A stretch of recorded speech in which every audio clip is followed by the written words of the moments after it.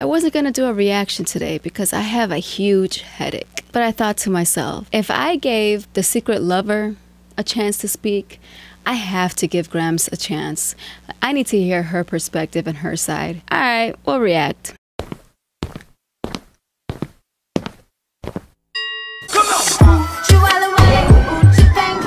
We're gonna get straight to it because this is a 41 minute video.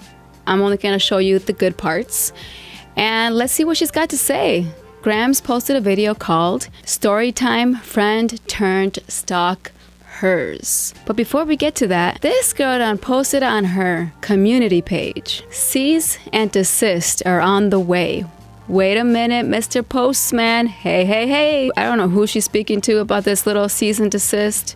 I know she ain't talking to me. How can you even afford a lawyer if you can't even afford rent? And if it ever goes my direction, I got the funds for a lawyer, okay? I'm pretty sure it's all bullshit. She's just trying to scare people off, but this is my first time really reacting on Gramz' channel, so let's hear her out, you guys. Let's give her a chance. Y'all ready to react? Because I am. Let's get it. Clown ass people go and give someone who is mentally unstable at this point. who is like they had their was mentally unstable. Okay, but they're completely taken by surprise. I'm taken by surprise with this whole shit. So all I can do is giggle. Cause at the end of the day, bruh, I'm gonna say it. Say I, it. I got some toxic dick. Cause what I'm doing? Nah, girl, on? it ain't toxic dick. It's it's toxic brain. Okay, it's toxic brain. Something's wrong up here. Okay, some things you can fix, some things you can't. Some things you need medication for. Toxic here. Man, why is it every time I cut somebody off privately and try to take that shit to the grave, they go and make it explode in my face? Why? And I know I went through my comment section and my um my true supporters who kind of like you could tell y'all ass kind of believe the bullshit too. But y'all like shit. Even your own supporters believe At that shit. Point, you get you a toy. Don't do don't don't date. Don't talk to nobody else. I can't tell you what I did though. I'm not gonna lie, you guys. As she's speaking, I kind of like her approach. Okay, I like that she's going comedic with it. She's making fun out of the situation, and might as fucking well. Okay, you have the whole internet hating you. Okay, you have your own people in your personal life hating you. And when I mean hating, now, like hate, like envious, like hate as in they dislike you. so fuck it, you know. Why not laugh at the situation? Laugh at yourself, you know. I kind of like the approach. y'all said. I, I don't know where I went wrong if I did what y'all said. Now, she was a homie, and as you can see, she's she looks pretty innocent, right? When she's not off the hinges, you she's a person that you could talk to, you could vibe out with, you could vent to, and you could talk about shit with. She, she used to give me good advice, used to, but the last two months it started getting toxic. She started being super obsessive with my um, ex fiance, her new love interest, her friends, and my other ex in her life. Well, she became obsessive with your exes because you are obsessed with your exes. You brought them to life. When all you do is talk about them behind closed doors and stalk them behind closed doors. And if she's just as crazy as you, she's going to get obsessed as well. If that's all y'all talk about. She watches all of their YouTube videos. She watches their Instagram stories. She she gets up every morning before she wash her ass. That's if she do it. Before she before she even brush her goddamn teeth, she's on the mugshot website scrolling, scrolling, looking to see who went to jail. and right now she's upset with me because I cut her off cold turkey, ain't talked to her when she seen that she wasn't getting no calls and no text messages and no response from me after multiple attempts of texting me from text now numbers and confronting me and texting my phone before I blocked her and I still wasn't responding. Yeah, that's what that leads to ignoring a person. Well, but you ghosted the bitch, right? If you ghosted her, someone like her who's off the hinges is going to go even crazier. You should have at least explained to her why you want to cut her off. You said you cut her off cold turkey. And it's sad because you surely show me how you guys love to fall for anything. Fall for the drama. You believe anything anybody say without checking credentials. Baby girl sat there and told y'all. No, I believed her because she also told us what she was doing. She was stalking B and Avery's personal inf- information along with you. So, because she let us know that she's cuckoo for Cocoa Puffs, got some screws loose, she stalks. She says she doesn't stalk you, but she stalks. She told us this. If she can be that honest about herself, hell yeah, believe her ass. And then when she was asked on why she's up here, she said because she's called my mom trying to break up my family. Nobody wanted to dive deep into that. Ain't nobody be like, oh. So why would she call your mom? Because if you would have asked that simple question, it would have led to. Oh. Because I'm around here stalking her. I'm writing her from text now numbers and she's not replying. Uh, I'm looking at her friends list and on her friends list, she's following new girls and they're liking each other's pictures. I'm smashing her homegirls, homeboys, and, and I got her in some shit off the cameras. Um, cause I'm going around here starting shit with people that she really fuck with. If they would have just asked that simple question, it would have been enough to be like, oh shit, this girl ain't got it all. No, girl. I still think it's fucked up that you that you called her mom. Why are you calling her mom? Call the cops. If she's stalking you that bad, do a report. Have it on record. Put it in documents. Is it going to protect your life? No. But at least you have it on record in case something ever happens to you. okay, she's the first person they'll go to. What's the mama going to do? She can't do shit, just like she said. Nobody is fact checking and credential checking. Even when you go apply for a job, guys, they check your resume, your background. They want to know your goddamn everything before they bring you in their building. Before they extend an open door, we want to make sure that I got a stable person in this building. I want to make sure that I'm not allowing a thief into my corporation. I don't want them to mess up the business, the brand, what we stand for. Nobody's doing it.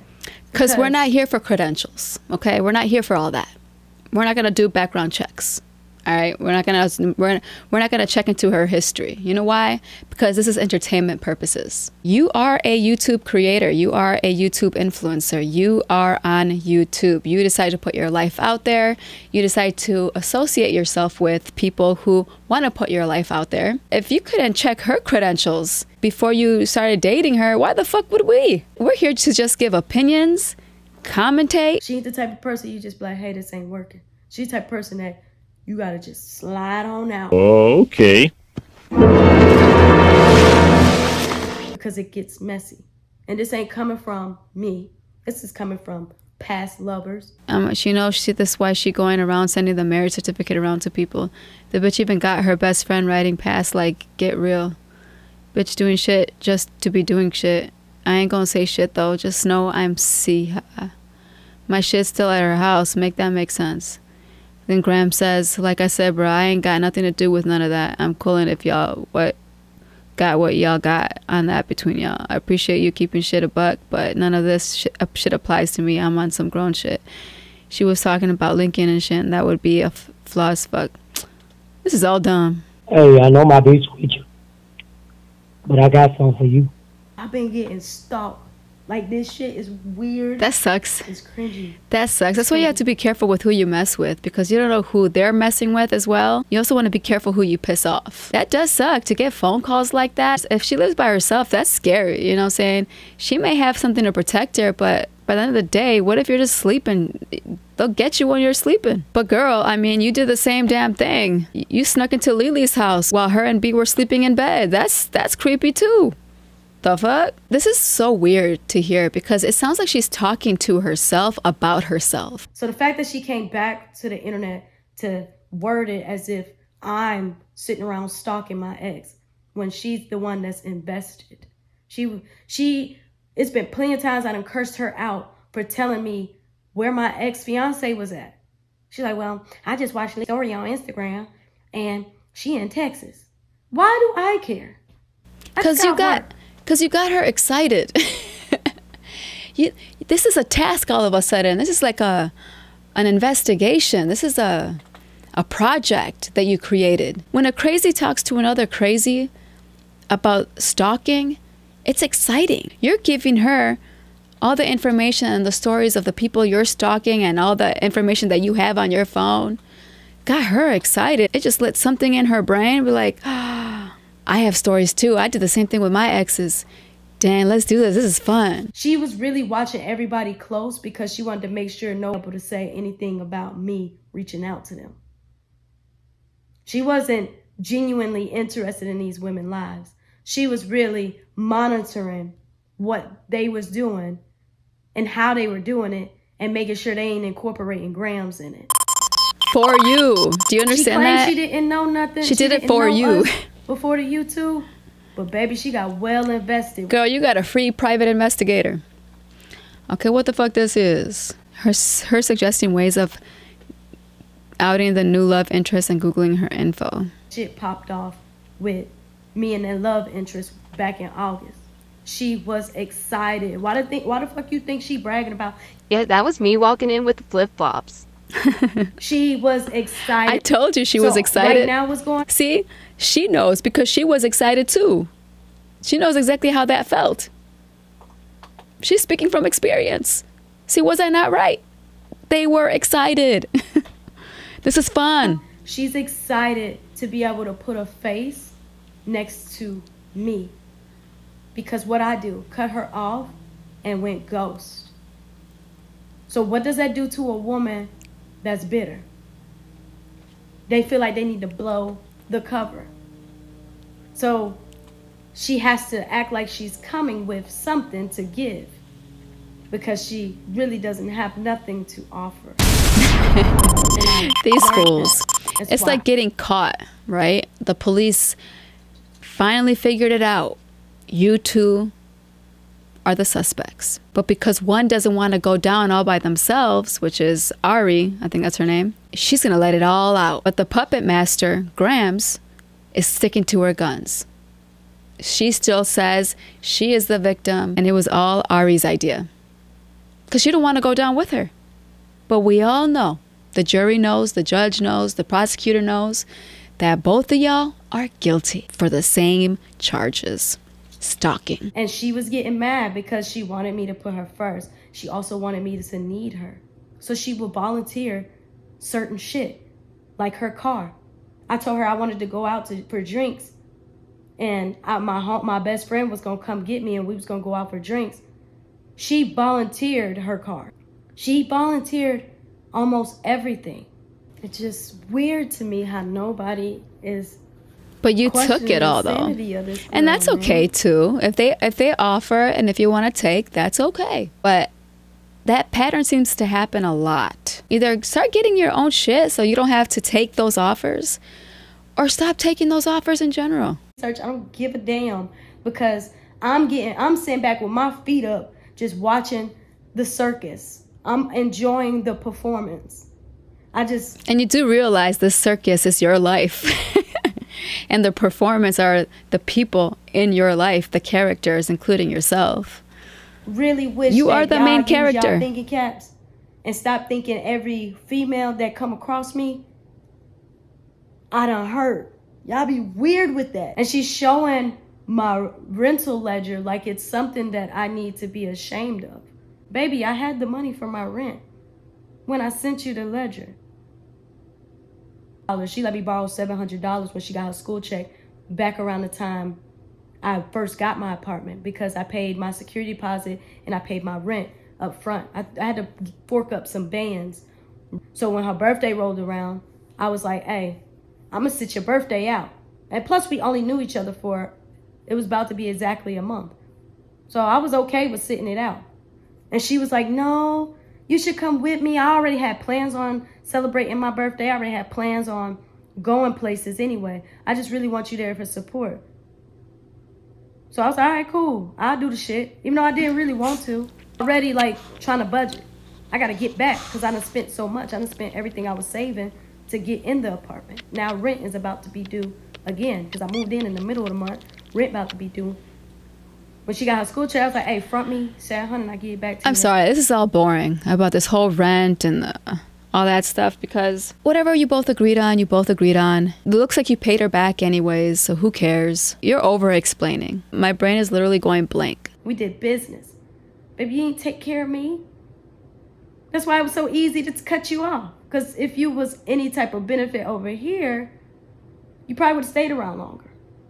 Girl, I'm looking all I'm looking at all of these except for that 125. There's a lots of 10s, lots of 15s. That ain't shit. that ain't shit to brag about. But one positive thing I have to say about Gramz is that she's got a nice voice. I like her voice. I like how she talks. You know who she reminds me of? Bizzy Bone. This is why they said don't speak on the Illuminati. Not only is it Jesus' family, but it's also your family.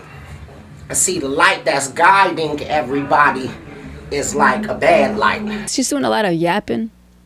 Everyone's looking at her like she's crazy. It's making no damn sense, but it makes sense at the same time, just like Bizzy Bone. And that, that voice, they got that same voice.